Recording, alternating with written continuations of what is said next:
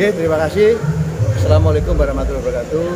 Alhamdulillah hari ini eh, kita adakan acara rangkaian Festival Pulang Kampung. Hari ini jam 10 sampai jam setengah dua ya.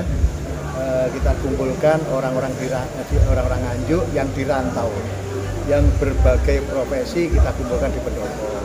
Untuk apa? Sharing. Kira-kira Nganjuk eh, masukan-masukan dibandingkan di yang lain karena beliau-beliau saya yakin punya pandangan, punya referensi yang lain bagaimana mengembangkan Nganjuk. Alhamdulillah tadi juga kita sampaikan yang pertama bagaimana perkembangan Nganjuk kita sampaikan setelah itu masukan-masukan dari beliau-beliau dan Alhamdulillah masukannya juga bagus sekali sehingga nanti akan kita olah dan kita tidak lanjuti.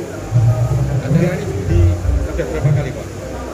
Setiap tahun kita eh, adakan ya. Nanti kita juga eh, biasanya eh, dua kali setahun itu. Satu di Nganjuk, biasanya kata dengan Lebaran. Yang kedua nanti bulan Juni, tanggal 18 Juni nanti kita adakan di Jakarta. Satu di Taman Mini, ada kira di Taman Mini, dan yang kedua nanti orang-orang Nganjuk di sekitar eh, Jabodetabek nanti akan kita kumpulkan di Jakarta. Ya. Pemikiran para tokoh Nganjuk di rantau sungguh luar biasa, dan itu yang kita harapkan kata Marhen dalam Temu Kangen Diaspora 2023. Bertempat di pendopo KRT Sosrokusumo, pemerintahan Kabupaten Nganjuk gelar Temu Kangen Diaspora Nganjuk, bersama orang Nganjuk di rantau, dengan tema bangkit melesat menuju Nganjuk maju, bermartabat dan sejahtera. Dihadiri sekitar 200 orang, terdiri dari diaspora, kepala OPD, undangan LSM dan media, komunitas Sarujuk Kalimantan. Salah satu perwakilan diaspora, Profesor Dr. Haryono menyampaikan bahwa, Presiden Jokowi mencanangkan Indonesia pada tahun 2025 harus masuk lima besar, tentunya akan banyak rintangan, rintangan, karena negara, negara besar tidak akan merelakan begitu saja.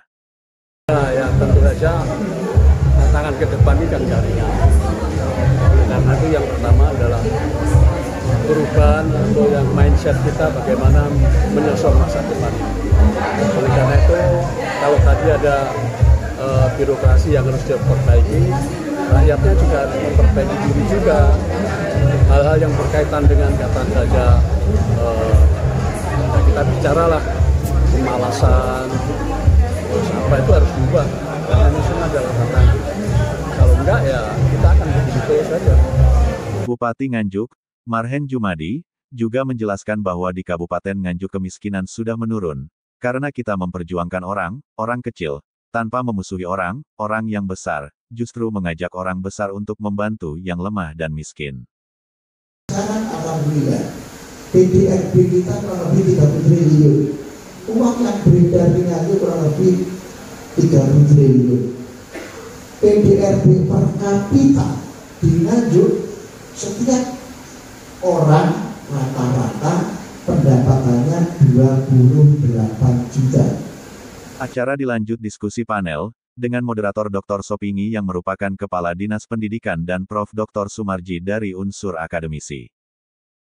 Ada teman-teman media di Nganjuk lebih dari 60. Media di Nganjuk lebih galak daripada Kediri, lebih galak daripada Malang. Baik dan dia dilindungi oleh undang-undang. Nah, kalau ada media-media yang yang abal-abal, ya harus dengan edukasi demi pembangunan Nganjuk. Pada kesempatan yang berbahagia ini saya persilakan Ibu Bapak dari diaspora dulu, diaspora dulu untuk menyampaikan masukan-masukan kepada kami. Monggo. Ada enam panelis yang menyampaikan masukan dan sekaligus pertanyaan, salah satunya adalah Aam, dari Galeri Serikat Keekean yang menggeluti dunia fashion dan batik ekoprint yang telah malang melintang di dunia internasional. Pria berkaca mata ini, menetap di Pulau Dewata Bali. Namun kecintaannya terhadap tanah kelahiran membuatnya terpanggil untuk membagi dan membangun usahanya di Nganjuk, yang ada di Jalan Citandui.